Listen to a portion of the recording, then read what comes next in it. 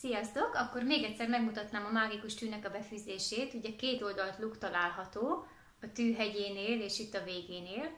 A hornyos fele fog ugye fölfelé nézni, és ennél a luknál, ami itt van, úgy néz ki, mint egy biztos tűnek a vége, alulról fölfelé felfűzzük a fonalunkat, és átellenbe a tűnek a hegyén, ami luk található, ott pedig kifelé menet belefűzzük a fonalunkat, jó alaposan meghúzzuk, egy ilyen 20-30 centit, és mikor ez megvan, akkor kicsit megigazítjuk, hogy ne akadjon el itt ebbe a kis urokba, és utána visszahúzzuk, és ugye a, a horonyba bele fog menni a fonalunk, egy másfél-két centit hagyunk a végén, látjátok, és már is foghatjuk a tünket, és kezdhetjük ugye a böködést, így ide a sor mellé belebökünk, és szépen haladunk. A lényeg az, hogy ugye a fonalunk akkor mindig laza legyen,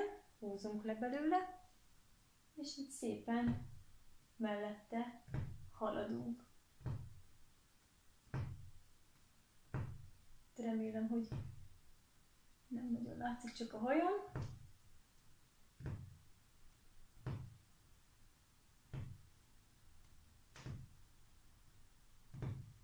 Ilyenkor, amikor ilyen nagy dolgot csinálok, akkor érdemes kétszer-háromszor a kontúrvonalat végigböködni, mert sokkal szebben fog látszani.